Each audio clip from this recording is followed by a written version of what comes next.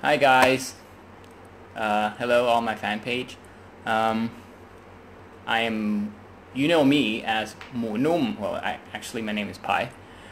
Uh, well, here I am. I said that I would do live videos, uh, so I'm doing it. It would just so happen that this past couple days, I thought to myself that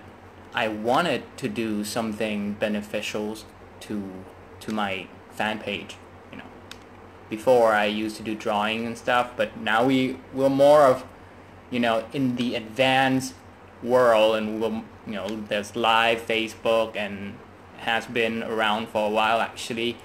but I haven't really tapped into it and utilize it so much. So here I am. สวัสดีครับแฟนเพจ Facebook ของผมทุกคนนะฮะ ที่ตอนนี้ไอ้เครื่องหมายลูกกระตานี่น่าจะหมายถึงมีมีอยู่7 7คนนะฮะที่ตอนนี้มีอยู่7คนโหผมดีใจมากเลยเพราะว่าตอนแรกเนี่ยผมก็เหลือ6คน ผมคิดว่าอาจจะไม่มีใครดู ผมเตรียมไว้แล้วว่าผมจะต้อง เพราะว่าผมพูดไว้ว่า at 8 o'clock 8 p.m. 2ทุ่มเนี่ยผมจะมาไลฟ์วิดีโอเกี่ยวกับภาษาอังกฤษใครมีคำทงคำถามมา ผมจะพยายามตอบให้ เอ่อเอางี้แล้วกันครับ ผมว่าเนื่องจากผมเนมตอนนี้ว่า pilot which if you are a fan of series American series or any series at all really you would know that the first the very first episode is named pilot usually not all of them but usually uh, which มันมาจากคำว่า pilot project ก็คือเป็น project ที่ทำลองดูว่าว่ามันจะไปรอดไหม แต่ว่าอันนั้นเขาทำกันเพื่อเป็น commercial นะทำขาย เราไม่ได้ทำขายก็ก็คงรอดอะไม่รอดก็เสมอตัวนะฮะผมก็คิดว่าจะเริ่มจากคำถามที่ผมเนี่ยเจอบ่อยมากตลอดการเป็นอาจารย์สอนภาษา ผมเป็นอาจารย์สอนภาษามาหลายปีอยู่เหมือนกัน but the uh, the past couple of years these past couple of years I haven't really been actively teaching per se so I guess I could say that I was an English teacher but now I'm more of I am still a teacher but more of like a teacher at heart because I have you know at heart ในในใจเพราะว่า I haven't really done any teaching regular teaching anyway for a while now คำถามเนี่ยไม่ว่าผมไปที่ไหน สอนนักเรียนกลุ่มนี้ผู้หลักผู้ใหญ่เด็กโต or even ไปเวลาไปพวกเซมินาร์ ไปไปบรรยายให้ใครเขาฟังเรื่องเกี่ยวกับภาษาภาษาอะไรพวกนี้นะครับคำถามที่เจอบ่อยที่สุดเลยปึ้งแล้วพวกท่านก็น่าจะเคยถามคำถามนี้เช่นกัน คือทำยังไงถึงจะเก่งภาษาอังกฤษ or in English you could say you would you know you would say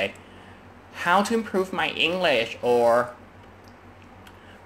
is there is there a technique to to improve your English quickly or you know things along those lines เนี่ยทำยังไงจะเก่งทำยังไงจะเก่งผมคิดว่าจริงๆคำถามว่าทำยังไงจะเก่งเนี่ยเป็นคำถามที่ผิด แต่ผมตอบให้ก็ได้ แต่มันเป็นคำถามที่ผิด แต่เดี๋ยวผมจะบอกว่าคำถามที่ถูกคืออะไรคำถามที่ผิดเพราะว่าเอ้ยอย่าเพิ่งพูดสิแต่ผมตอบให้ก่อนทำยังไงจะเก่งภาษาอังกฤษ there's only one way to to improve your English one way one way only you surround yourself you surround yourself surround ก็ you know คือ you surround yourself อันนี้ผมพูด surround เป็น active นะ ก็คือคุณเนี่ย เอาอะไรต่างๆมามา surround มาล้อมรอบตัวคุณ you surround yourself with all things English คือเอาตัวเองไปอยู่ในสถานการณ์ที่มันมีแต่อังกฤษอยู่รอบๆ uh, you you want to flood your your your senses flood your senses uh, with all things English What do I mean by flood your senses uh, well you have นี่ใช่ไหมคนเรามีเซนส์ประสาทก็มองเห็นใช่ไหมครับ มีสัมผัส มีหู มีปาก มีจมูก okay so first your sense of sight uh, what you do uh, ทุกวันนี้ออกไปข้างนอกบ้าน หรือแม้แต่อยู่ในบ้านก็ได้ คุณก็จะเห็นป้ายอะไรต่างๆ มันจะมีภาษาอังกฤษเกี่ยวข้องไปหมด คุณก็ก็เอาตาคุณไปเกาะอยู่กับมันบ้าง แล้ว ปากก็อาจจะขมุบขมิบตามบ้าง เป็นสิ่งที่ผมทำตอนผมเด็กๆครับนะฮะแล้วอย่างหนึ่งคือใกล้ตัวที่สุดเลย the device that you spend most of your times on these days your cell phone เนี่ยคุณสามารถปรับโหมดภาษาให้เป็นภาษาอังกฤษได้นะฮะถ้าคุณยังเป็นระบบภาษาไทยอยู่ that means คุณยังไม่ได้ surround yourself with all things English คุณต้องทำงั้นก่อน ถ้าคุณคุณบอกว่าแต่แล้วเดี๋ยวไม่รู้ว่าปุ่มไหนแปลว่าก็ดิกนะฮะดิกเยอะแยะดิกในมือถือก็มีสมัยผมเป็นเด็กนะ สมัยผมเป็นเด็กมันไม่มีดิกแบบนี้ด้วย ก็เลยต้องใช้ดิกเล่มหนาครับ ผมก็ทำอย่างนั้นตอนเด็กๆนะฮะทีนี้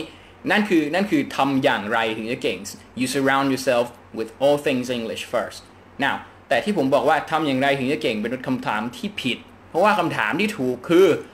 ทำตอนไหนไม่ทำอย่างไร มันไม่ใช่แบบ how มัน when นะครับ อย่างยกตัวอย่างตัวผมเอง when did I start ผมเริ่มเมื่อไหร่ ต้องย้อนกลับไปเมื่อปี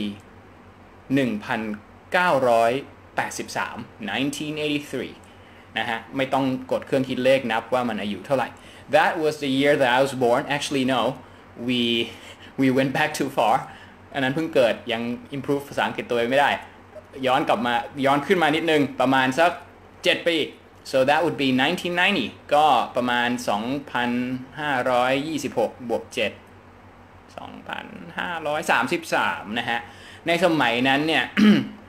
ถ้าใครเกิดทันในยุคนั้น หลายคนที่เป็นแฟนเพจผม ผมไปส่องรูปภาพของคุณมา ผมรู้คุณเกิดทัน คุณก็อาจจะชินกับพวกเพลงประมาณนี้ หากลืม ฉันได้ไม่ลำบากใช่ไหมเธอก็ควรมากเกมนี้จะจากฉัไปอินคาส่วนตัวหรือฉันอย่างเพลงของอัศนีวสันต์หรือใครๆก็แล้วแต่ในยุคนั้นคุณอาจจะชิน ผมเนี่ยไม่ค่อยได้มีโอกาสฟังเพลงประเภทนี้เท่าไหร่เธออันนี้ต้องโทษอาจจะต้องโทษเอ่อไม่ใช่ใช้คำว่าโทษไม่ถูก อาจจะต้องยกความดีความชอบให้กับคุณแม่ผมนะฮะ เพราะว่า see the thing is I have always been ตัวผมนะ have always been a deep sleeper คือมันดูเป็นภาษาอังกฤษแล้วมันดูเฮ้ยดูดีนะ deep sleeper แต่ว่าในความจริงคือมันเป็นคนปลุกยากไม่ดีนะฮะ คือแบบหลับหลับลึกปลุกมันยากก็เลยเป็นพวกประเภทนาฬิกาปลุกร้องยี้อะฮะ Thank you. But I, I don't know what, what oh God supposed to mean. Does that mean oh God this is so good or oh God เนี่ย well เนี่ย Facebook Live มันไม่บอกว่าโทนมันมายังไง so I'm gonna, I'm just gonna take I'm, I'm, I'm going to take it as a compliment so oh God good God oh อยู่ไว้สบายดีรุ่นเดียวกันนะ1983 yay เอ่อนะฮะเนี่ยทีเนี้ยผมเป็นพวกนาฬิกาปลุกร้องยี้แต่ว่า คุณแม่ผมเนี่ยจะเปิดพวกเพลงประเภทเนี้ยปลุกผมตอนเช้าทุกวันเลยไปโรงเรียนเนี่ยปลุกเปิดด้วยเนี่ยผมจะตื่นมาด้วยเสียงประมาณ มีใครคุ้นบ้างไหมฮะ Jailhouse Rock Jailhouse Rock ครับ Elvis Presley ผมตื่นมาตอนเช้าด้วยเพลงแบบเนี้ยลำโพงแบบ surround งานวัดประมาณ 8 ตัว ตื่นมาอย่างเงี้ย หรือไม่บางทีบางวันก็ไปแนว British กันบ้างก็จะได้ยินแบบนี้เนี่ยแล้วคุณลองคิดดูดิ คุณเป็นเด็กเล็กๆ คนหนึ่ง7 8 ขวบ ได้ยินเสียงซ้ำเดิมทุกวัน วันหนึ่งคุณเริ่มเริ่มสงสัยอะมันพูดอะไรกันวะ คุณก็ต้องเริ่มไขว่คว้า แล้วเด็กสมัยนั้นนะฮะ back in my days when you know when I was a kid there was no there was no uh, internet obviously internet just internet came to existence when I was around maybe 15 so when I was 7 there was no internet the only way for me to know the lyrics นะ the only way ที่ผมจะรู้เนื้อเพลงเนี่ย คือเอ่อ cassette cover อะปกเทปอะมีในนี้มีใครอยู่ในยุคอ่านเนื้อจากปกเทปบ้างไงก็จะพอนึกภาพนั้นออกเออผมก็เนี้ยปกเทปชีตมิวสิกหรือหรือพวกหนังสือเพลงเนี่ย ไม่ค่อยมีเพลงสากลด้วยสมัยนั้นนะผมก็จะต้องเริ่มจากไปดูปกเทป but then again ไม่ใช่ปกเทปทุกปก Swing the spring I know your role ขอบคุณ ขอบคุณครับที่บอกทุกคนเอ่อ yeah หนังสือเพลงเนี่ยมันไม่เอ้ไม่ใช่พูดถึงพูดถึงไม่ใช่หนังสือเพลงปกเทปไม่ไม่ให้ทุกอัลบั้มไม่ให้ทุกปกนะที่มันมีที่มันมีเอ่อเนื้อเพลงให้เราร้องตาม so I I beg I beg my mother to get me what known back then as sound b o u อ่ามีใครทันซาวเบลคงพอนึกออกเด็กรุ่นใหม่ถ้าแบบประมาณสัก 20 ลงไปอาจจะไม่ทันหรือมั้งอาจจะแบบอยู่ในยุคของ CD players or or MP3 players iPods and whatever other copy pods there are uh, okay good good thank you good to know that uh, you know my fan page are รุ่นเฮ้ยมาอังกูลมาอังกูลแกรู้จักซาวเบลด้วยเหรอมาอังกูลนี่ลูกศิษย์ผมเอง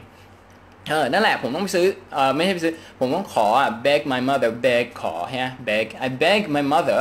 to get me นั่นน่ะ sound b o w อะ จริงๆ we we call them cassette players เนี่ย ขอ cassette players มา มาเปิดฟังเสียบหู and I pick out lyrics myself เริ่มตอนประมาณ 7-8 ขวบ ผมเริ่มแกะแกะเพลงเอง so see ถ้าถามว่าทำยังไงถึงจะเก่ง it's more like ทำตอนไหนถึงจะเก่ง for me I started when I was officially when I was seven เริ่มแกะเพลงแกะเสร็จแล้วค่อยไปเทียบกับปกมั่งแกะแล้วถามแมวบ้างอะไรอย่างเงี้ยค่อยๆ improve ตัวเองไปเรื่อยๆ but then picking out lyrics well it I learn a lot actually I learn I learn pronunciations from from music I learn sentence structures without really trying to learn sentence structures เอ่อเรียนได้รู้ไอ้ sentence structure โดยไม่ได้ตั้งใจนะฮะได้รู้โดยบังเอิญ but then for for the meaning of what was said ผมก็ต้องอาศัย dictionary เหมือนกัน I started out yeah like many of you guys ก็เริ่มด้วยเอ่อ dictionary อังกฤษอังกฤษไทยนะฮะ แล้วก็พอมาสักประมาณ 10 10 ขวบน่าจะแถวๆนั้น ก็จะเริ่มใช้ดิกอังกฤษอังกฤษดิกอังกฤษอังกฤษแบบพวก Oxford นะครับไอที่ที่แบบว่าถ้าหล่นใส่หัวใครคอหักนะฮะประเภทนั้นน่ะผมก็นั่งเปิดนั่งเปิดไล่ไปทีละคำเลย จนจนรู้ความหมายได้เลยทั้งเพลง แล้วก็ทำไปเรื่อยๆ หลายเพลงสมัยเด็กๆ I was able to sing basically every single one of Elvis Presley's songs every single one of them and also the Beatles แต่ว่าตอนนี้ก็ไม่ค่อยได้แล้ว please don't ask me to sing live this is as far as I'm going today okay นะฮะ